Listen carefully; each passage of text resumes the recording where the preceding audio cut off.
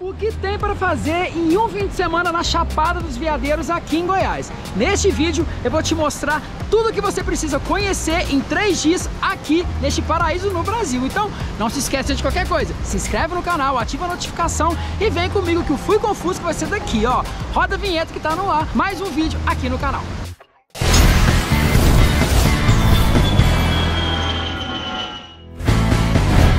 Seguinte, meu povo, agora sim, ó, saímos de Brasília, a gente saiu mais ou menos umas 9 da manhã e a gente tá indo em direção a Alto Paraíso de Goiás. Na verdade, a gente tá indo pra Vila de São Jorge, que é onde a gente vai ficar hospedado, porque lá é o lugar mais próximo da Chapada dos Veadeiros. Então a gente já parou aqui, ó, pra fazer um lanchinho e daqui a gente, inclusive, já vai direto pra primeira cachoeira.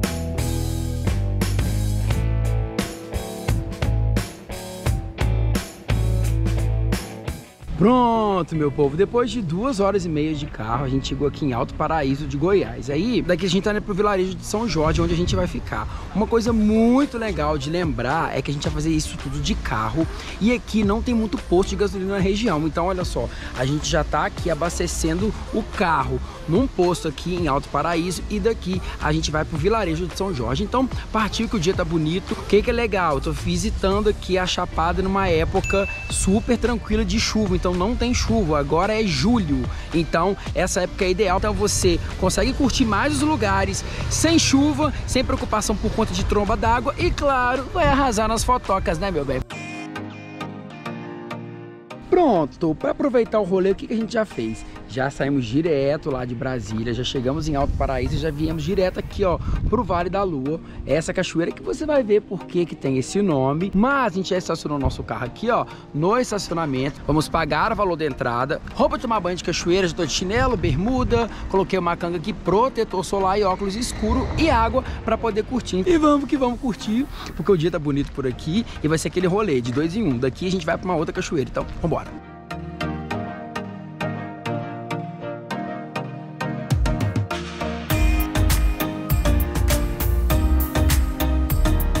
E olha só, muito rapidinho, deu o que mais ou menos 600 metros, nos 10 minutos de caminhada a gente já chegou aqui no Vale da Lua. Olha que bacana, tem como você descer pra se banhar, igual o pessoal tá fazendo ali. E o principal, tirar umas fotos super, super legais. E aí, olha só, vai até lá embaixo. Então você consegue, fica um pouquinho aqui, caminha mais um pouco, fica um pouquinho aqui, caminha mais um pouco. A placa diz aqui que você pode permanecer por até duas horas no lugar. Ou seja, minha sugestão, fica aí tirando, sei lá, uns 10, 15 minutinhos de foto, depois guarda o celular, eu tenho feito isso muito, guarda o celular e vai curtir o lugar, porque olha só, beleza natural, a gente tá dentro do Brasil, meu povo. Aqui a gente testa antes de dar a dica, né? E sim, a fama daqui tem uma água muito gelada. E eu já entrei. É bem cristalina. Só que realmente a água é muito gelada. Se você quiser entrar só uma parte, você pode ficar por ali. Ou se você quiser entrar e curtir um pouco mais, você consegue ir ali para dentro, ó. Que é o que o Fusquinho vai fazer. Então, vambora.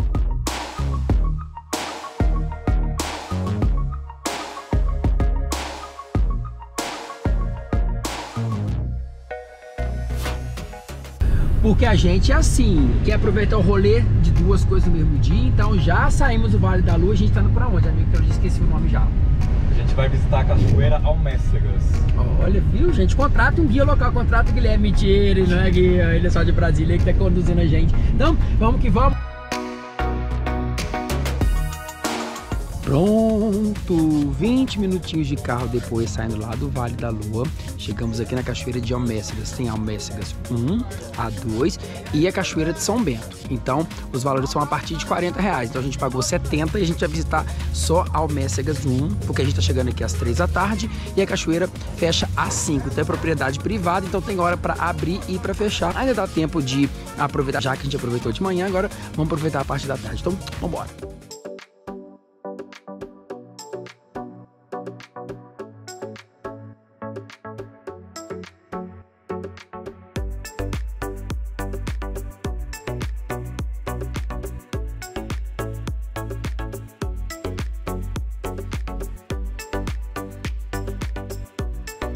Cachoeira de Almécigas 1, olha só. Aqui, ó, são 45 metros de queda d'água. E o que é, que é legal? Primeiro, água muito gelada, mas ok, tudo certo. Segundo, que você consegue nadar água pura, cristalina. Como eu vim aqui no final do dia, olha só, praticamente a cachoeira toda pra gente. Então fica essa dica aí. Mais ou menos uns 10 a 15 minutinhos de trilha e o resto do certo. Então, já aproveitando, se você estiver curtindo esse vídeo, ó, se inscreve aqui no canal, ative o sininho com as notificações para não perder nenhuma dica. Combinado agora, ó? Só curtir o restinho da tarde por aqui.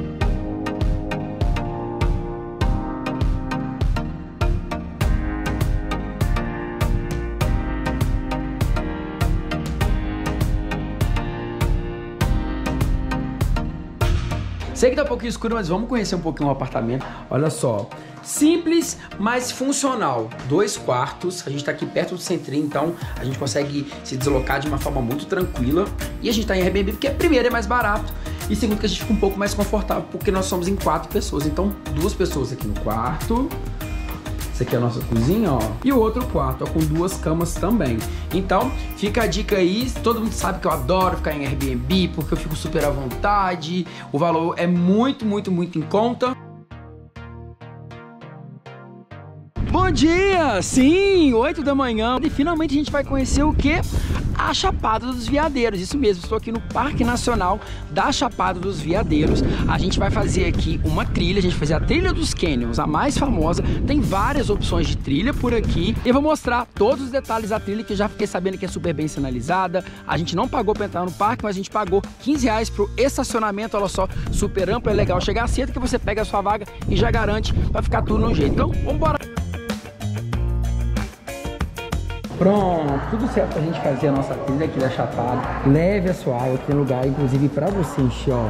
Vá no banheiro aqui no centro de entrada, aqui no centro de atenção ao visitante tem banheiro também. E aqui tem todas as informações pra gente fazer a trilha de forma segura, levar comidinha, levar sacolinha pra trazer o seu lixo de volta, porque isso também é muito importante. São quatro trilhas diferentes. diferentes. Agora vamos entender um pouquinho das trilhas aqui da Chapada. São quatro trilhas diferentes e elas são sinalizadas todas por cores. Ó, inclusive, tá vendo? Olha, a gente consegue ver ali, ó. A gente vai fazer, inclusive, essa vermelha aqui, que ela tem um pouquinho mais de 10 quilômetros. E a menor tem 800 metros. Então, é tudo super sinalizado. Logo na entrada aqui, ó, tem esse mapa explicando a cor de cada trilha. Olha só, vermelho, amarelo, branca e laranja e que tipo de trilha que ela faz e até... E aí você pode fazer a trilha por sua conta ou você pode contratar um guia daqui, mas olha só, pelo que eu tô vendo aqui, é super tranquilo e sinalizado e ele tem que ficar atento ao horário de abertura e de fechamento do parque e o principal, trazer água, protetor solar, uma sacolinha para levar seu lixo, porque lá dentro não tem nada disso, então você que vai ter que levar tudo na sua mochilinha. E como sempre, né, roupa confortável, tênis de caminhada, porque o sol tá quente, vai ter que caminhar um pouquinho, mas vamos embora aqui. Tô finalmente conhecendo a Chapada.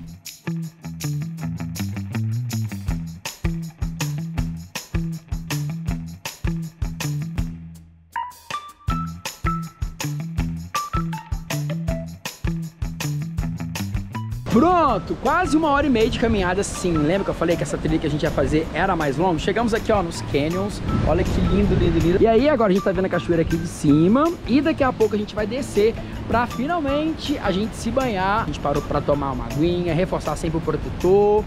Porque o sol aqui, ó, é um pra cada um.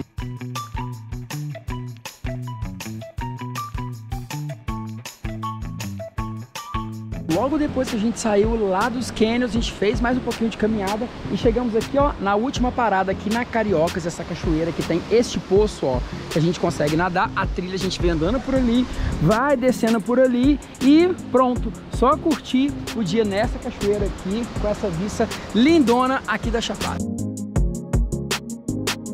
E pronto! 30 minutinhos depois de caminhar desde os canyons, esse lugar lindo que eu mostrei, eu te vi, Agora chegamos aqui na Cariocas, essa cachoeira, que na verdade são duas. Tem uma queda aqui, logo atrás dessa pedra aqui, ó, tem uma outra queda d'água. E o que que é legal? Que tem esses poços aqui atrás, eles não são tão profundos, então dá pra curtir, dá pra aproveitar o dia todo. Olha só, a gente inclusive, ó, trouxe canga pra poder esticar aqui e curtir. A única parte ruim é que não tem tanta sombra, porque, enfim, então sol bate diretamente na gente. Então, se for ficar o dia inteiro por aqui, lembra sempre do protetor solar, tá bom? Então, agora dá aquele jump. Um, dois, três, meu Deus, vai estar gelada, vai danar.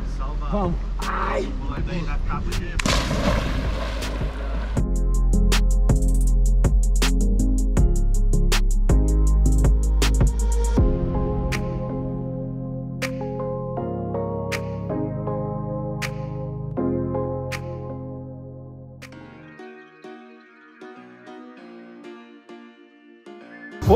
Além das cachoeiras, que como estou mostrando aqui no vídeo, tem um montão de opções aqui para fazer na Chapada dos Veadeiros. Hoje a gente veio ter uma experiência gastronômica aqui em São Jorge, essa vila super charmosa, que diferente de Alto Paraíso, tem uma estrutura menor, mas que não deixa para trás em nada a estrutura lá de Alto Paraíso. Então, bora comer o risotinho super gostosinho e num lugar mais charmoso que isso, impossível. Então, bora lá!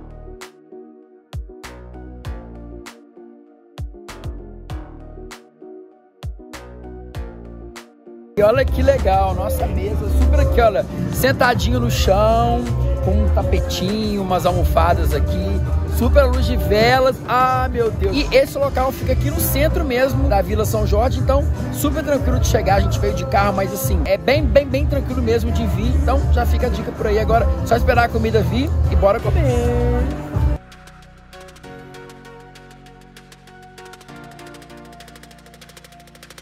E aí, qual o rolê? A gente pediu dois risotos diferentes, porque esse aqui, por exemplo, essa panelinha aqui, ó, servem duas pessoas. Nós vamos comer em três pessoas, pra gente não ficar com fominha depois.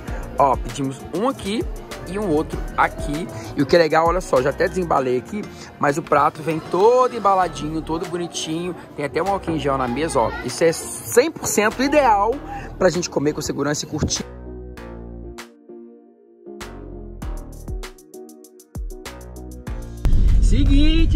Mais um dia aqui na Chapada. A gente tá indo pra Cachoeira de Santa Bárbara. Uma cachoeira super famosa, porque é uma água super cristalina. Espero, Deus, que seja assim. Mas a gente já tá aqui no caminho. A gente já passou de Cavalcante, é, que é a cidade antes de você chegar a Santa Bárbara. Na verdade, a gente tá em São Jorge. E a partir de Alto Paraíso é mais ou menos 120 quilômetros. E daqui de Cavalcante até Cachoeira de Santa Bárbara, 27 quilômetros. E como você tá vendo aí, a estrada é um pouquinho de areia, pouquinho de terra. Então, assim, se prepara para ficar com o carro sujo e para dar aquela sacolejada, vamos falar assim, porque tá tudo bem. Então, vamos lá, porque vocês vão ver a cor da água, porque eu também tô ansioso para ver essa cor da água. E daqui a pouco a gente tá chegando lá. Porque, inclusive, a cachoeira fica numa comunidade quilombola. E aí eu vou contar mais um pouquinho quando chegar lá. Então, bora, bora, bora!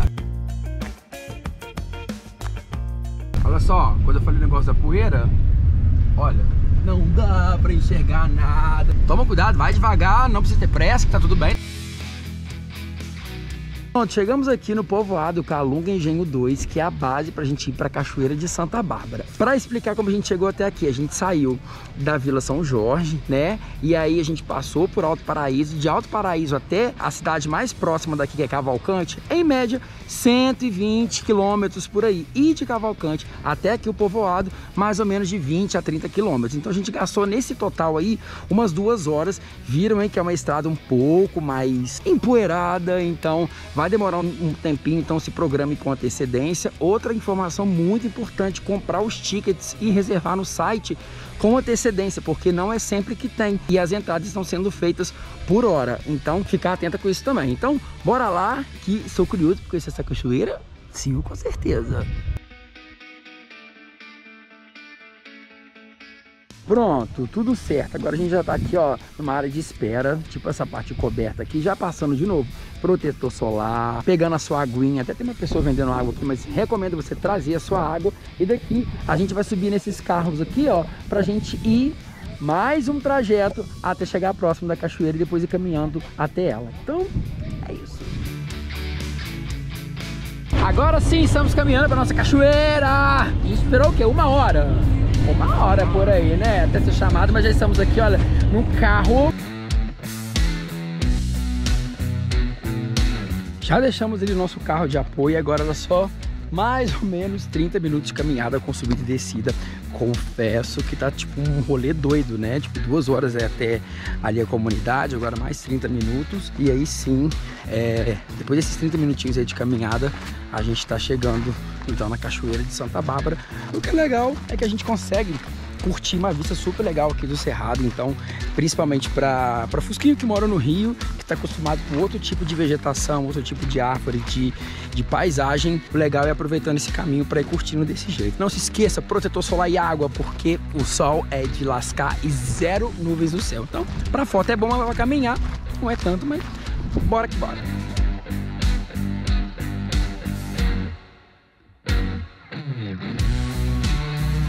E aí, olha só, até chegar à Cachoeira de Santa Bárbara, a gente passa primeiro por essa aqui que também já é linda, que é a Barbarinha. A gente não para para entrar nela, tanto que não tem ninguém. E a gente vai continuar subindo na trilha ali para chegar finalmente na Cachoeira de Santa Bárbara. Então, bora! Fim de trilha, chegamos finalmente na Cachoeira de Santa Bárbara. Acho que já tá dando pra ver no vídeo a cor da água.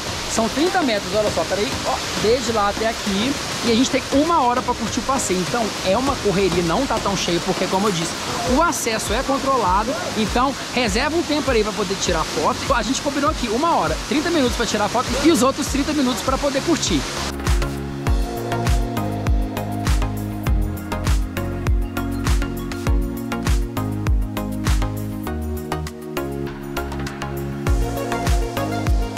E aí agora para encerrar, a gente vai almoçar aqui na própria comunidade quilombola. Por 50 reais a gente vai almoçar à vontade, buffet livre, feito pelas pessoas da própria comunidade. Então olha só, eles deixaram a gente aqui de carro e a gente está indo, ó, é ali o nosso restaurante. Uma experiência muito legal de você ter o convívio do pessoal da comunidade quilombola e ainda almoçar, ter o contato com o pessoal local. Enfim, muito, muito, muito bacana. Então bora papá!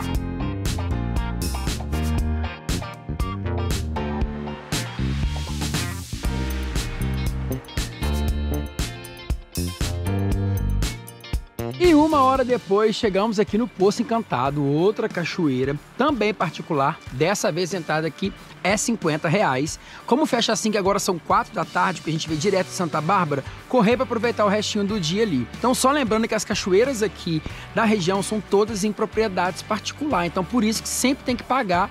Então às vezes, por exemplo, nós somos em quatro que a gente conseguiu negociar e ao invés de dar 200 reais, a gente conseguiu fazer quatro pessoas por 150, ou seja, 10 continhos de descontinho, mas já é um desconto porque a gente chegou no final do dia. Então vamos lá, que ainda tá com solzinho e dá para aproveitar o restinho do dia por aqui em mais uma cachoeira da região da Chapada dos Veadeiros. Partiu!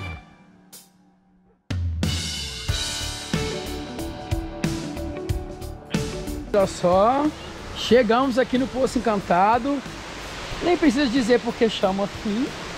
E o que é mais legal, tem essa faixa de areia aqui, como se fosse uma praia de cachoeira, então a gente consegue realmente curtir, relaxar esse pôr do sol, ao longo do dia, é isso que a gente vai fazer por aqui.